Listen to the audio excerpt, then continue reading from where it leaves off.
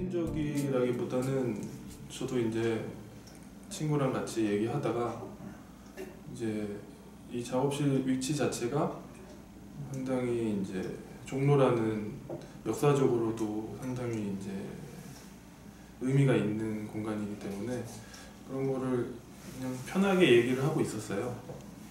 그런데 이제 레지던시 오픈을 할 때 과연 사람들이 이곳에 방문하는 게 이제 각자마다 이제 시간을 내서 오는 수고스러움이 있잖아요. 그랬었을 때 의미를 던져주고 싶었어요. 제가 좋은 기운이나 이런 것들을 드릴 수는 없지만 이곳 자체가 그런 공간에 배산임소에 어울리는 위치에 자리하고 있고 그런 부분들을 조금은 느끼고 가실 수 있기를 바라는 마음에서 네, 같이 이제 얘기하다가 그렇게 자연스럽게 나온 거라서요. 뭐, 뭐 의미를 크게 부여하진 않지만 이렇게 던져주는 정도의 쓰임은 적절하다고 생각을 둘 다 같이.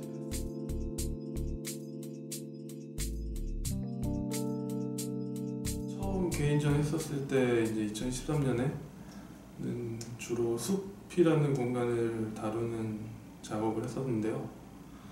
그때는 이제 주변에서 이제 경험하는 그런 공간들을 집중해서 작업을 했었다면 지금 여기 보시는 뭐 8시라는 이 작업 같은 경우도 풍경을 다루고는 있지만 직접 방문했던 공간은 아니고요.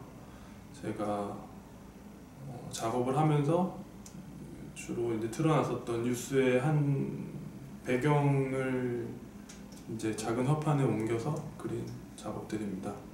뉴스를 보면서 드로잉을 시작한 지는 꽤 오래됐는데요.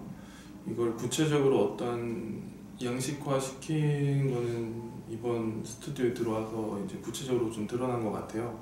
직접적인 그 공간이 어, 드러나진 않지만 배경에 이제 있는 공간들은 어떠한 저의 기억하기 위한 장치로서의 그림이라고 볼 수 있는데요.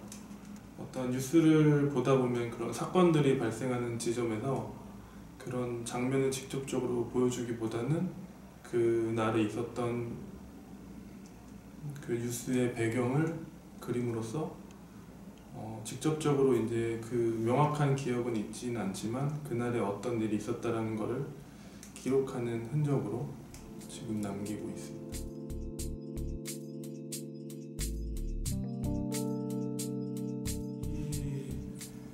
이거는 이제 8월 달에 있었던 뉴스의 한 장면들인데요. 이제 일본과의 이제 관계가 악화되면서 주로 그 기자들이 일본에 많이 취재를 나가게 돼서요. 배경이 핑크색 하늘이 이제 배경인 장면들을 많이 볼 수가 있었어요. 뉴스를 보면서. 그래서 이제 그 8월 달에 있었던 일본 취재가 있었던 날에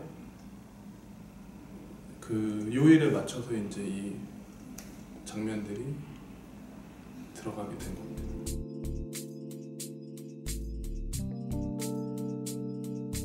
부분 이제 뜯어 보면 그때는 어떠한 흔적들이 조금은 현실적인 어떤 부분들이 드러나게끔 유도는 하고 있습니다. 근데 어, 전체적으로 이제 뭐 화면을 확대한다든지 축소한다든지 하는 부분에서는 어, 통일성을 갖기보다는 어떤 부분에서는 뭐 좀 더 구체적으로 드러나기도 하고 어떤 부분에서는 모호한 지점을 생면이라고 할 수 있는 부분들이 드러나는 부분이 더 강하게 나타나는 작업도 네, 같이 이제 한 공간에 드러나게